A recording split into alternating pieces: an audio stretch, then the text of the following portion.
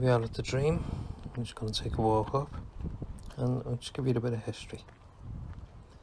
So, 1906, work on Sutton Manor Colliery commences.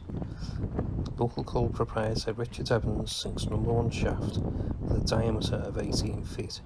This was completed in December 1909 when the shaft was extended to a depth of 1,823 feet. The sinking of number two shaft at Sutton Manor began in July 1906 with the shaft diameter initially measuring 22 feet.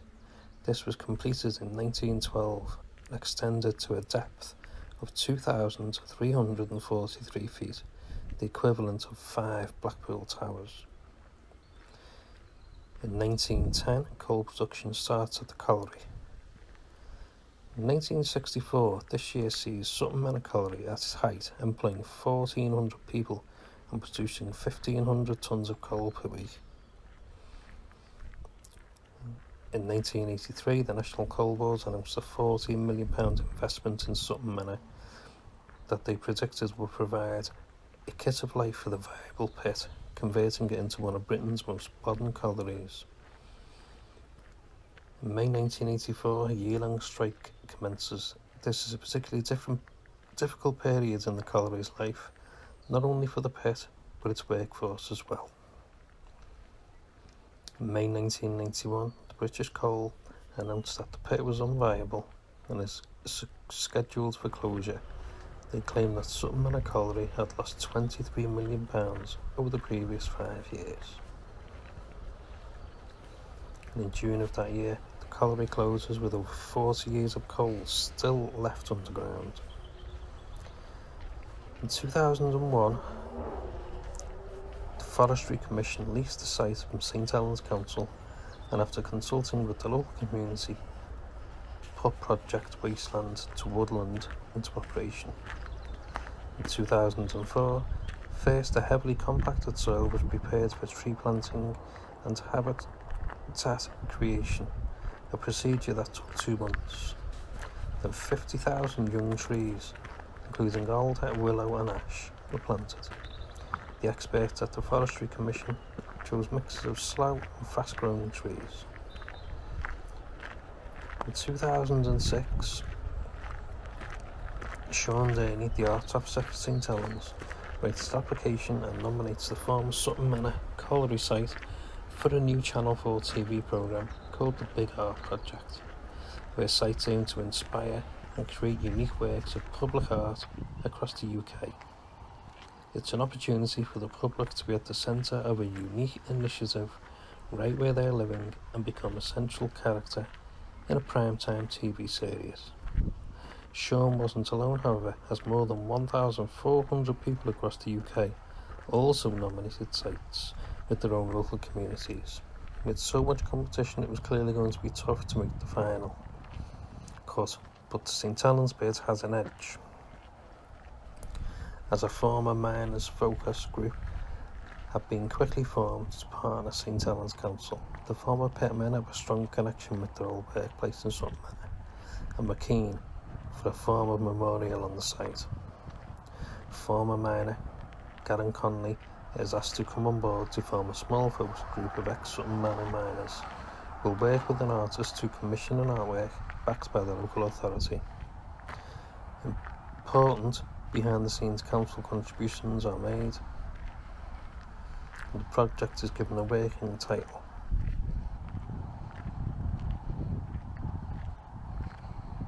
Ex terra lucem. From the earth comes light. It's at the time St Helens' former town motto, based around coal and glass.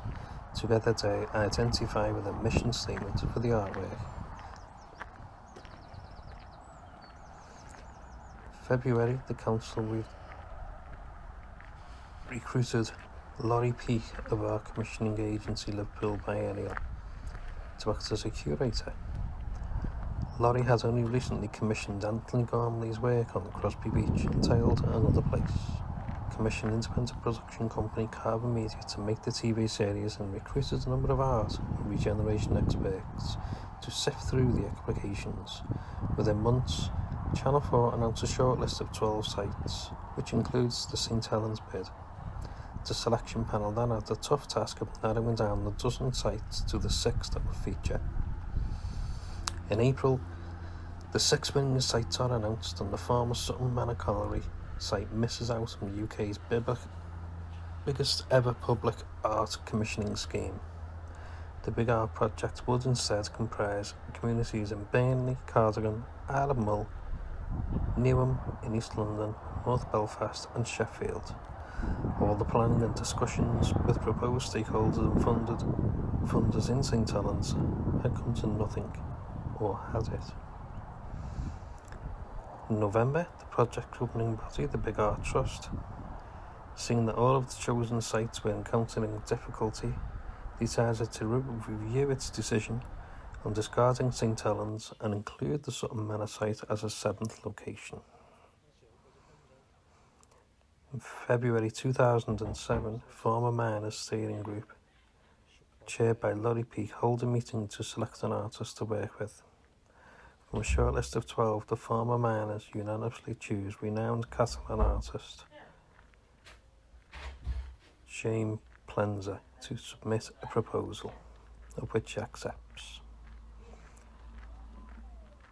In April, Barcelona-born Plensa visits Sutton Manor site, meeting former miners, and a close bond is formed, with him saying the miners are so strong people, but they are also passionate.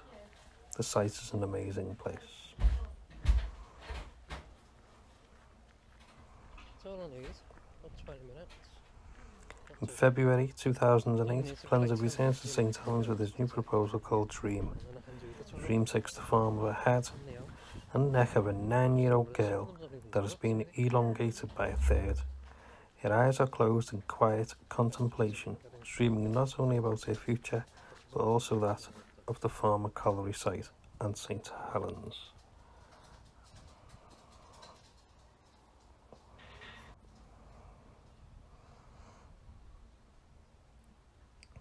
It's proposed that the landmark will give hope and aspirations for future generations and become a positive symbol for the area.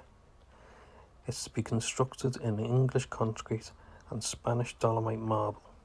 It's white to replicate light and to contrast the darkness of the mine and coal that lies beneath. Finally, she is to sit on a plinth of giant miner's tally as a reminder of the heritage of the site. The structure is to be lit with an additional beam of light from the sculpture's head that goes into the sky. The former miners love it and give it their full backing.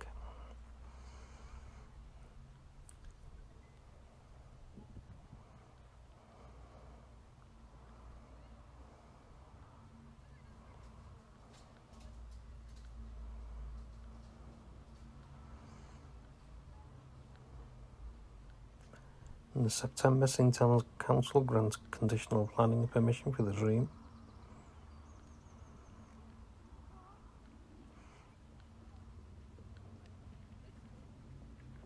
However, the team's delight that the work could finally begin in earnest was tempered by the news, albeit expected, that Dream could not for the time being be illuminated. In October, Evans Concrete of Derbyshire wins the contract to fabricate Dream in 90 individual panels of precast concrete, which is to be conveyed to St Helens in sections. In 2009, the topping off ceremony takes place as the final section of Dream is winched into place to much media publicity. In the May 2009, Channel 4's five-week TV series The Big Art Project starts with St Helens site and Dream becoming pivotal to the success of the programme. Along with Burnley, St Helens becomes the only site to produce a piece of artwork of such magnitude.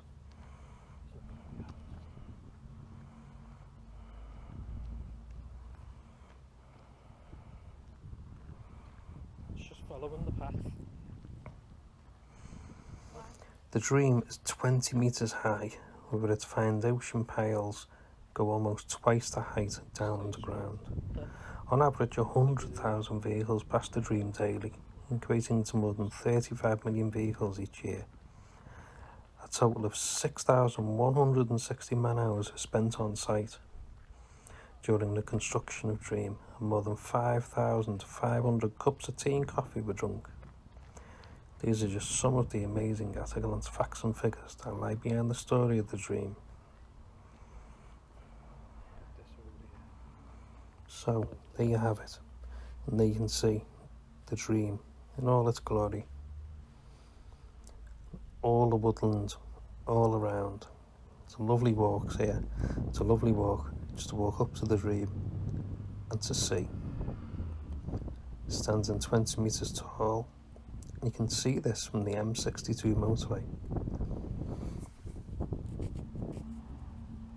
So there you go guys.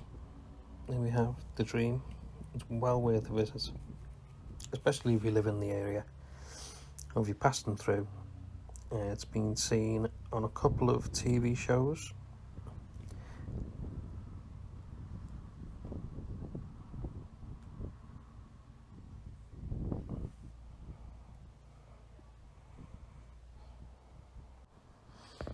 So the dream has been in a couple of TV shows. Um, the most recent one being on Netflix, on a program called Stay Close with James Nesbitt. And it was also visited by Ricky Tomlinson and Ralph Little in a very northern road trip. So I'm going to leave it here this time, guys, and hopefully see you in the next one. Until then, stay safe and goodbye.